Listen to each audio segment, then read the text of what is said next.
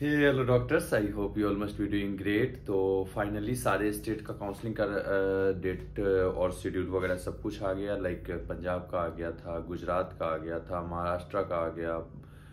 उसके बाद जो मोस्ट प्रोनाउंस स्टेट थे, जैसे राजस्थान, मध्य प्रदेश, कर्नाटका यूपी इन सब का भी रजिस्ट्रेशन का डेट शीट आ गया. है और बात करता हूँ अगर यूपी का तो यूपी में भी बहुत सारी क्लिनिकल सीटें बाकी हैं including the OS prostho ortho endo ये जो हाईली डिमांडेड सीट्स हैं, वो भी अवेलेबल है अभी यूपी में। इसके अलावा राजस्थान में भर भर की सीटें हैं, हर तरह की सीटें हैं, वहाँ पे भी सेम ऐसा ही कंडीशन है और मध्य प्रदेश में भी यही हालत है। और कर्नाटका के अच्छे अच्छे कॉलेजेस में ये कंडीशन है अभी अवेलेबल अब बात ये आती है कि क्या आप सभी जगह पार्टिसिपेट कर सकते हो? देखो, करने को तो आप बतेरे स्टेट में कर लो, जितनी स्टेट्स आप चाहते हो, उतनी स्टेट्स में कर लो।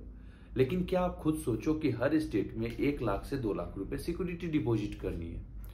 और आपने गलती से भी सिक्योरिटी डिपॉजिट तो करनी है, अगर आपको सीट अलॉट होता है, हर स्टेट दो स्टेट में भी हो गया तो किसी एक स्टेट में तो आप फॉरफिटेड हो जाओगे दो लाख रुपए। हाँ या ना? अगर आप ऐसी गलती करते हो तो ये तो वेस्टेज ऑफ़ मनी है ना। करने को आप कहीं भी कर लो। लेकिन एक चीज़ ध्यान रखना कि अगर ऑल इंडिया में आप डिवाइड हो गए ऑल इंडिया में कॉलेज अलॉट होता है और आपने नहीं लिया तो आपको किसी स्टेट में एडमिशन नहीं मिलेगा, क्योंकि वो आपको डिवाइड कर देगा। तो ऑल इंडिया में तो ये गलती कर भी नहीं सकते हो। ठीक है? राजस्थान में बॉन्ड रूल है कि अगर आपको कॉलेज अलॉट होता है और आप छोड़ देते हैं तो दस लाख रुपए आप कॉलेज को दे करके ही आप छोड़ सकते हैं, क्योंकि डॉक्यूमेंट्स वगैरह सब कुछ आपके उसके पास चले जाएँगे। ये सुनो तो ये सारी चीज़ें हैं जो कि आपको थोड़ी सी ध्यान रखनी होंगी। ऐसी कोई भी गलती मत कीजिएगा जिसमें कि आप जाकर के फंस जाएँ। अगर चीज़ें नहीं समझ में आ रही, आप कुछ भी नहीं कीजिए, आप मेरे से बात कीजिए, किसी से भी बात कीजिए।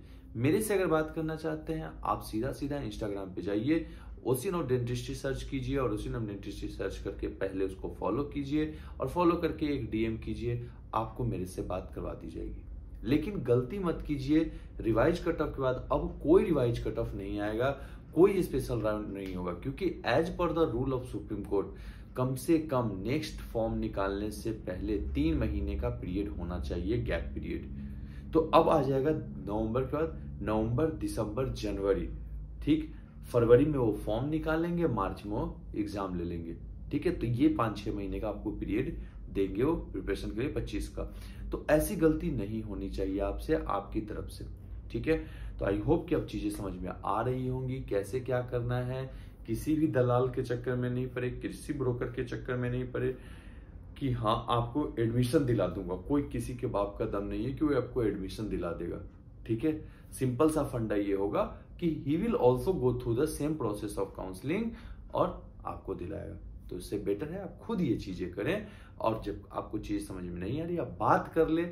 आई विल गाइड यू कि कैसे आपको करना है। Okay thank you that's all for today और to contact me you have to just ping me on my WhatsApp nine five two one four two eight two three nine just एक hi लिख करके भेजना है no calling only एक hi लिख करके भेजना है और आपको हमारे व्हाट्सएप ग्रुप का लिंक दे दिया जाएगा जहाँ पे आप हमसे जुड़ करके भी बातें कर सकते हैं। ठीक है?